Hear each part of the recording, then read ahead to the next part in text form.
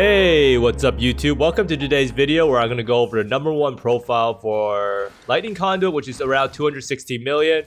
Uh, reason you might be seeing me on this character is I actually recently made a Lightning Conduit character, and I copied one of these profiles on, what's it called? On PoE Ninja. And as you may see here, I actually only have three links on my lightning conduit. Now you might be wondering why would you ever only run lightning conduit on three links? And it's because my other two links previously and my lightning conduit is in what's it called Thunder Fist were not actually working. So I'm going to show the boss kill on this build with some really, really pretty much a three link lightning conduit pretty much because the skill actually does do incredible damage but there are actually some links that don't really work with the skill so as you see here, we finally made it to the boss. And Blade Vortex actually works pretty well. And this setup I currently have going is immune to... What's it called? Is actually immune to... Alright, so you can see, you can actually kill the boss pretty fast with just a 3-link lightning conduit. And the reasoning behind this is because I can't use hypothermia right now because my character is actually level 78 and I don't have Uber Lab done. And you also can't use Spell Echo, and we'll go over why we can't use Spell Echo little in a little bit. But basically, the number one profile is 216 million plus DPS, and this is a level that's pretty much not really ever seen at this early stage of the league, especially when Sentinel League has pretty much been nerfed. And like I said, I am currently playing Doriani's prototype, but I am using some shenanigans when converting all my lightning damage to cold. And cold and lightning damage to fire, so I'm not really taking any lightning damage. So all of the lightning damage I take is converted by Temper by War, which is converted 50% to fire, and then the shield over here converts 50% of elemental damage to chaos. So I'm taking all fire and chaos damage pretty much. So we'll go over that in another video, but I just wanted to give a cool proof of concept video and pretty much illustrate why you don't actually need four links in Lightning Conduit if you just copy some of these PoE Ninja profiles. Now, it's always a very good idea to check out the high DPS PoE Ninja profiles. It's pretty much how most people, or I know, myself make builds. You kind of want to get inspiration from other people and kind of see what's actually wrong with their builds. So if you just sort it by here, you can see a bunch of people's profiles and we'll be able to see why is this guy so much higher than everyone else? Is he just a better player? Does he have better gear? Well, the answer is we'll see. So, in order to understand why Lightning Conduit does so much damage, we have to pretty much look at the skill itself. Now, the skill has a ridiculous base damage and a high effectiveness of added damage. So, the base damage is 516 to 1548. Now, the best way to actually see how good this is is to compare it to another skill. And I think a very similar skill is Arc. Now, Arc is at 198 and 1122. Now you might think Arc is pretty good because it has 15% more damage for each remaining chain. However, Lightning Conduit has 20% more damage with hits per 5% shock effect on enemy. Now this character right now has around 65% max shock effect. So my character is pretty much the same because you have the 15% effect right here, maximum right here, and then you also have the extra 15, wait, you don't have any extra part right there. So it's 50 plus 15. So it's 65% total. So at 65% total is 13 times 20, which is 260% more damage with hits. So Arc would theoretically need to chain 10 plus times, right? And that's just something that's not really true. You can't really get 10 chains, or you actually need more than 10 chains to come close to Lightning Conduit. And the base damage is lower. And if you look at the skill, it's 120% effectiveness of added damage. So this is what people mean by when they say a skill has been totally outclassed. So Arc for single target has been totally outclassed by Lightning Conduit.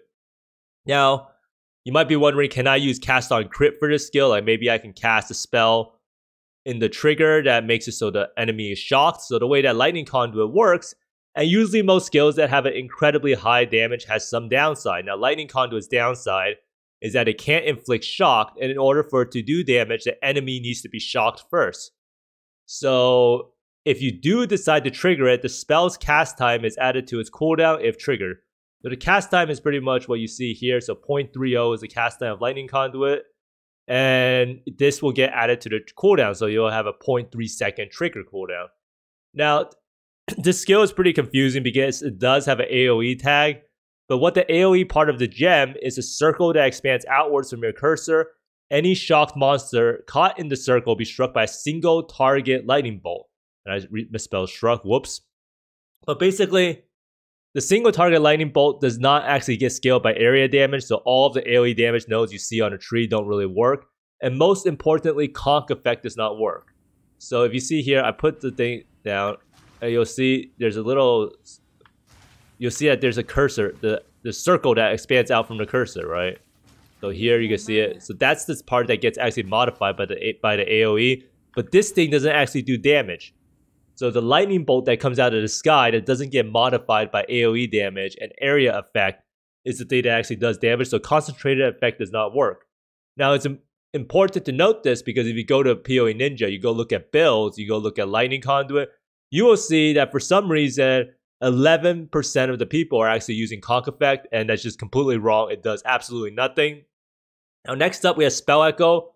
Now a lot of people think spell echo is able to hit the boss multiple times, but if you put it inside of Orb of Storms, so the way that a lot of people do it is they put down Orb Storms and they pretty much cast Lightning Conduit and the cast of Lightning Conduit will make it so that it will apply the shock inside of the Orb Storms and the enemy will get the shock removed and then you can repeat cast it again and then Orb Storms will apply the shock and then Lightning Conduit will remove the shock. However, this doesn't work with Spell Echo because it doubles the cast but it doesn't trigger the Orb of Storms to proc twice. So this means that Spell Echo is another gem that seems good on Pob, but actually doesn't really do anything. Now, this is really, really important because we're going to see what gem links this person that's number one uses. So sadly enough, 11% of the players on PoE Ninja are just flat out wrong. You might be thinking that these people are all trying to just cheat, but some of these people don't even have high damage. So some people are just completely misinformed about the skill, and I was pretty much one of them, right? I that, that's why I was playing. I actually bought an Awakened Spell Echo, so I was pretty much a fool, just like everyone else. Now, the number one profile is nice to see. We just go down to stats, right? So we have 216 million DPS, and the cast rate is incredibly high, 12.89. If you look at aura stackers in the past with Spark, they pretty much are around 10 or 9 ish. So this guy has insane cast speed. Now, something that people always wonder is elemental overload good enough to beat out crit?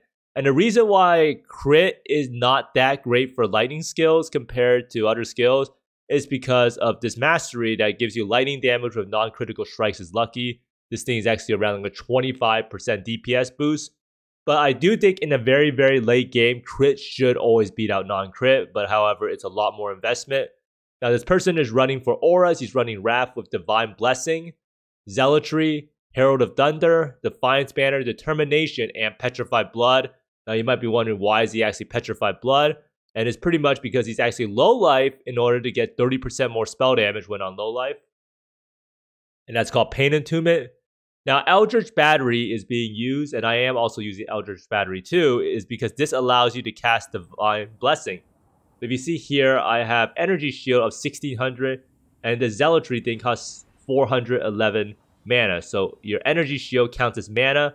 So if I get 400 energy shield, then I can cast Zealotry. And I'm actually running some weird link here on my Blade Vortex, which is Energy Leech.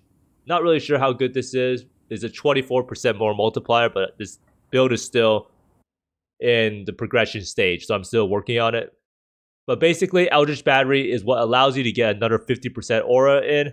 And if you look at this profile here, he actually has negative 200% lightning res, now, negative 200% lightning res is needed for Doriani's prototype, and Doriani's prototype makes it so that the lightning resistance, the nearby enemies have the same uh, lightning resistance as you. And this actually goes all the way down to negative 200%, and negative 200% is actually the cap. Now, you might be wondering, is this character a complete glass cannon? And it's really not. It has 32,100 armor, and it somehow has 75% chaos res, which is something you never see from a top DPS profile, and it has cap res. So you can see here, its phys hit is not the greatest. And the biggest problem is this guy is not running. Oh, he is running Molten Shell. So he does have, he doesn't have cast when damage taken Molten Shell. But he has regular Molten Shell. And you can see nowadays that Path of uh, PoE Ninja doesn't actually give you Vaal Haste if you have it. Not really sure why. It does give you haste aura somehow. Huh, that's actually kind of weird. But they don't really enable it. So that's something nice that PoE Ninja does not actually get tricked anymore. I'm not really sure what they actually changed for it. But basically, the character is not a complete glass cannon. Now, in order to understand what this build does so much damage, we should look at the gear. So the gear, you have Wand and Shield, and they both have plus one lightning skill gems and an insane amount of cast speed. We have the Doriani's prototype with a negative 200% lightning res for lightning pen. We have the helmet, which has the lightning conduit enchant and cast speed right here. So lightning conduit enchant, cast speed. And he also has AoE gems and increased AoE. And that does help out a little bit.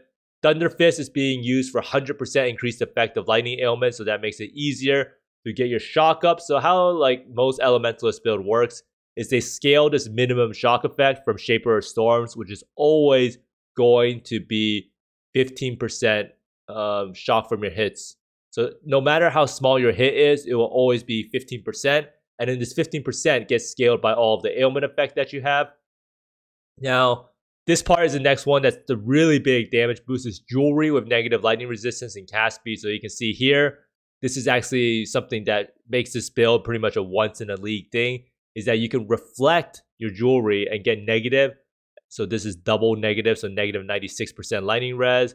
And then this ring here is negative 79% lightning res. And this makes it a lot easier to get your lightning resist to negative 200%. Now, grand spectrums are something that got recently added. We can get frenzy charges easily. So you have frenzy charge here. So this gives you three frenzy charges. This is per grand spectrum, and there's a limit of three grand spectrums on a build. This one's 15% increased elemental damage, which is pretty much 45%. And then you have another one here for another 45%. So those three grand spectrum jewels are giving you three frenzy charges and 90% elemental damage, which is pretty crazy. Now, Lethal Pride is being used for this build. Now, most people use Lethal Pride because it gives you a lot of damage. Now, here, no difference here. He is using 15% double damage. So 5% here, 5% here, 5% here. Uh, wait, 5, 5%, 5%, 5%. And this guy probably plugged it into POB in order to find the number. Now, Watcher's Eye is also being used with cast speed and lightning damage. So every single build top end will always have a good Watcher's Eye. So he has a Zealotry cast speed and a lightning damage Wrath Watcher's Eye. And cluster jewels, he does run one cluster jewel. It's actually kind of an interesting build because most builds that have insane PoE Ninja DPS have run a lot more cluster jewels than one. And it might be better to, for him to get another cluster jewel. But without a crit build, the jewel sockets actually lose a lot of their value because usually for crit builds, you kind of want to stack uh, crit multi on your jewels that you can get like 60, 50% crit multi on one jewel. But basically, he's just running this cluster because it gets an increased effect of lightning ailments, and then blind actually right here. And then he also has another lightning damage node, and then he has overshock, which is lightning damage, increased effect of lightning damage ailments. So overall, he has a lot of increased effect of ailments and lightning damage. So overall, his gear is pretty good. Oh yeah, he also has the lightning damage enchant if you haven't killed recently on a boots. And in terms of Flask, he is using Bottle Faith, kind of cheating with the increased effect. So Jelen's Flask, he has 70% increased effect. So this is also another cheating thing because anyone who uses 70% increased effect and they can't gain flask charges is not really realistic. And this one is a Life Flask and Granite Flask here, and a Quicksilver Flask for reduced effect of curses. So the amulet, you can also get plus two lightning skill gems, which is what he has and his ring actually has negative 25% reduced damage. And he does have some, he has one Hypnotic Eye Jewel, which gives him a bunch of cast speed and a bunch of flat lightning damage, which is really, really good. So overall, his gear is honestly, it's good, but it's not really the best in the world. Like if it was the best gear ever, he would probably have plus one, plus one right here. And then he would have a tier one spell damage roll and double damage on the shield. And his helmet is good.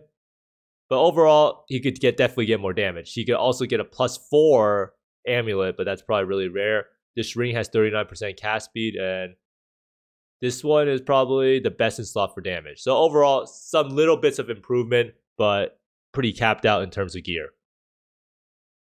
Now, next up, we have to look at how you actually scale the damage, and this is something that a lot of people don't really understand what's going on. So the way you look at it is damage is always your base damage right here. So this is where he gets his base damage from. He gets awakened added lightning damage.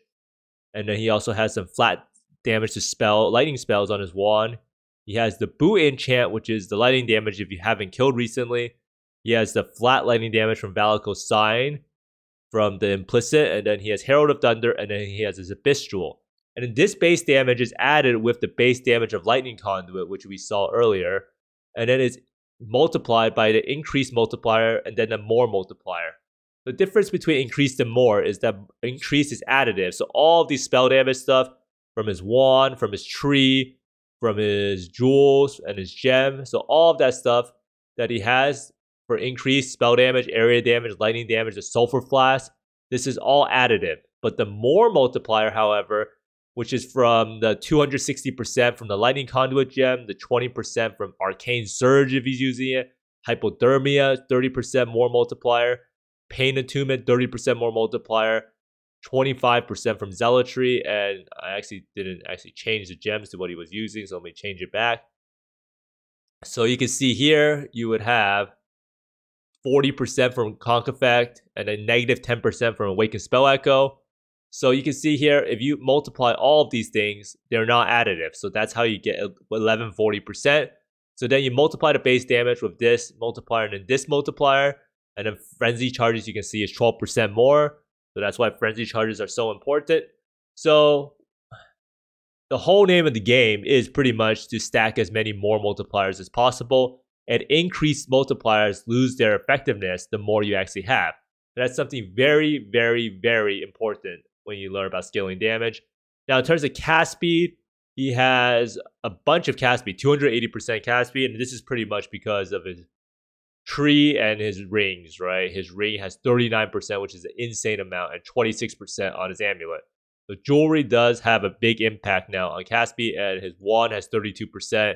Could even use a profane wand if you really wanted to, and 9% on the cast speed that he crafted. And then it's pretty much you multiply all of these things together, lightning base damage with the more multiplier, increased multiplier, and the cast speed. And this is, I really want to stress this part because a lot of people always ask me, how does a build get so much damage? And it's all about multiplicative scaling. The base of every single high DPS build is pretty much stacking as many more multipliers as possible. And that's why an aura stacker does so much damage because the aura stacker is scaling aura effect on a more multiplier. So you, you have Wrath on the Aura Stacker, you have Zealotry on the Aura Stacker, and you even have Hatred. And the Hatred is actually double dipping because it's converting and then it's scaling. So Lightning Conduit is kind of a special case. You can immediately see why the skill is so good because this skill has a 273% more multiplier that you're able to scale with. So already this skill is out of control because of its more multiplier when you have max shock.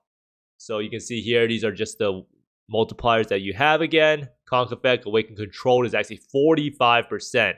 And you think that's pretty crazy, right?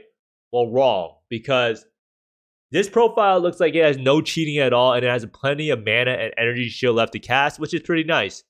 You have 8 unreserved mana, but you have a bunch of energy shield with Eldritch Battery. Now, the gem links, however, tell a different story.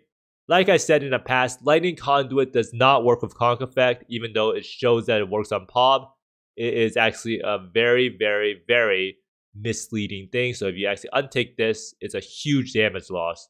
So you can see here it's 260 million. We untake Conk Effect, it goes down to 153 million. Controlled Destruction is also never ever used with Elemental Overload as it makes your crit chance too low. So if you look at Elemental Overload and what it says, it says skills that have dealt a critical strike in the past 8 seconds deal 40% more elemental damage. However, if you don't have elemental, if you have constant or not constant controlled destruction, you have a 4.92% crit chance. So that makes it it's almost impossible to crit and trigger elemental overload. So in terms of awaken control destruction, we can untake it. You can see here the crit chance goes from 4.92 to what's it called to 24% right here, 24.6. So we have to uncheck that and it goes down to 100 million DPS. Now, Awakened Spell Echo is not really usable as you will not apply the shocks fast enough. This guy is using Storm Brand. If you look at the Storm Brand hit rate and cast rate, 5.51, 7.8, and you look at Lightning Conduits, cast rate of 12.89 with Awakened Spell, Spell Echo, you can see that Spell Echo is definitely not going to work because usually you could probably cheese it with Orb of Storms, but even with Orb of Storms, you cannot use it with Awakened Spell Echo. So that's why Awakened Spell Echo should probably be replaced too. So you can see here, even with three links on the skill, it's still at 64.8 million DPS. Now, the best gem links you could possibly use are Hypothermia, Arcane Surge, and you probably need the Zealotry Arcane Surge Watcher's Eye in order to trigger this, and Awaken Empower. But after all of that, you can see here, it still is 156 million DPS roughly, and that's still an incredible amount. So overall, you can see here how I got baited personally. Like I was just copying these profiles and I was putting in Awaken Spell Echo. I actually spent like six divines on this gem. And I was using Conk Effect before. And yeah, never ever copy PoE Ninja profiles without looking at a lot of different options. Like, please just look at the skill gems because you can see here that Awaken Control Destruction should probably never really be used either. But 54% of the people are actually using it somehow.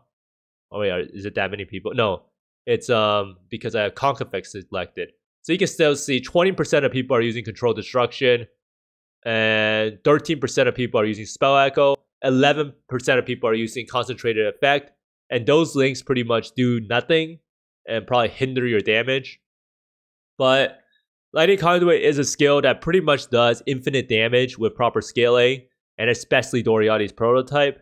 And I do think that the skill single target rivals Spark, but I do think Spark at the highest end for Aura Stacker probably outclasses it just because of duration scaling.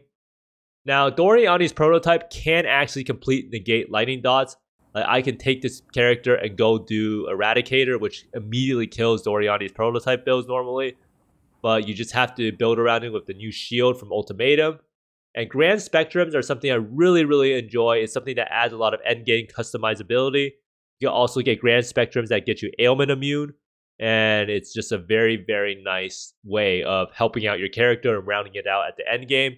And it's also pretty much a chase item at this point because I think the Frenzy charge Grand Spectrum costs around like, I'm pretty sure it's like nine divines or something. But thanks for watching, everyone. I hope this has helped out people who are considering trying to play Lightning Conduit. I will release an update to this build in a next video. But this should just warn you real fast about always being able to check the profile and trying to figure out why a skill is doing so much damage. A lot of times, all of the top skills at PoE Ninja, if you sort it by DPS, are probably cheating in some way or using gem links that really don't tell the whole story. But thanks for watching, everyone. I hope you find more mirrors, exalts, and mage bloods than me. And see you next time. Bye.